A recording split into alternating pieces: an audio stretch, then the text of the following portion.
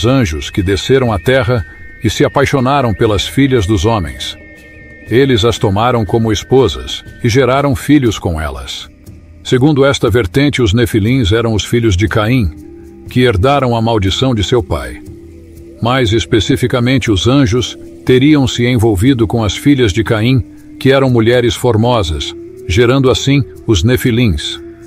Eles eram inimigos de Deus e dos homens. Eles devoravam tudo o que viam, inclusive os animais e os próprios homens. Eles também ensinaram aos homens artes proibidas, como a magia, a astrologia, a metalurgia e a guerra. Os anjos caídos e os nefilins foram os responsáveis pelo aumento da violência e da impiedade na terra, que levou Deus a enviar o dilúvio para destruí-los. E os anjos caídos, por serem seres espirituais, foram lançados no abismo para serem julgados no tempo certo. O dilúvio foi o castigo de Deus para os nefilins e para os homens que se corromperam com eles. Somente Noé e sua família foram poupados, pois eles eram justos e fiéis a Deus. Eles entraram na arca que Deus mandou Noé construir e levaram consigo um casal de cada espécie de animal. Eles ficaram na arca por quarenta dias e quarenta noites, até que as águas baixassem e a terra se tornasse habitável novamente. Noé e sua família foram os únicos sobreviventes do dilúvio. Eles repovoaram a terra e deram origem às novas nações. Deus fez uma aliança com Noé e colocou um arco-íris no céu como sinal de que nunca mais destruiria a terra com água. Mas isso não significa que a terra estava livre dos nefilins e dos anjos caídos. Eles ainda estavam presentes, mas de uma forma diferente. Os nefilins morreram no dilúvio, mas os seus espíritos não. Eles se tornaram os demônios que vagam pela terra tentando os homens e causando males. Eles são chamados de espíritos malignos, ou espíritos dos gigantes, no livro de Enoque. Eles são os inimigos de Deus e dos homens e serão julgados no fim dos tempos. Os anjos caídos também não escaparam do juízo de Deus. Eles foram presos em um lugar chamado Tártaro, ou Abismo, onde sofrem tormentos até o dia do julgamento final. Eles são chamados de anjos da punição ou anjos do abismo no livro de Enoque.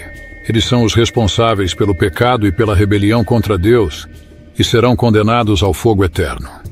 Mas nem tudo é trevas e horror no livro de Enoque. Há também uma parte que fala do céu, onde Enoque foi levado por Deus e viu coisas maravilhosas. Ele viu os anjos bons, que louvam a Deus e cumprem a sua vontade.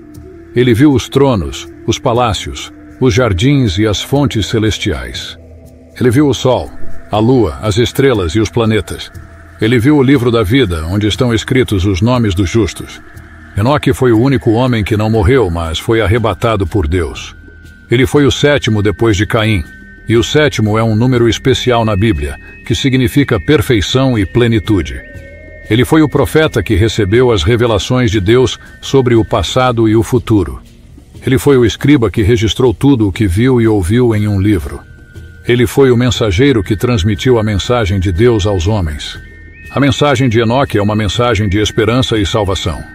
Ele anuncia a vinda do Messias, o Filho do Homem, que nascerá de uma virgem e será o descendente de Noé. Ele será o Rei dos Reis e o Senhor dos Senhores, que julgará os vivos e os mortos. Ele será o Salvador do mundo, que morrerá na cruz e ressuscitará ao terceiro dia. Ele será o Cordeiro de Deus que tira o pecado do mundo. Esse é o livro de Enoque. Um livro fascinante e enigmático, que nos revela uma outra perspectiva sobre a história de Caim e seus descendentes. Um livro que nos mostra que há mais coisas entre o céu e a terra do que podemos imaginar.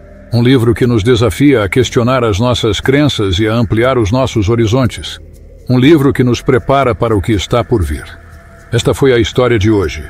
Se este vídeo lhe entreteu e contribuiu para o seu crescimento, fé e edificação, peço que nos ajude se inscrevendo em nosso canal e deixando o seu like. Isso nos ajuda muito e edifica o nosso trabalho. Agradecemos e apreciamos a sua audiência e companhia. Desejamos profundamente que Deus abençoe você e sua família. Até a próxima.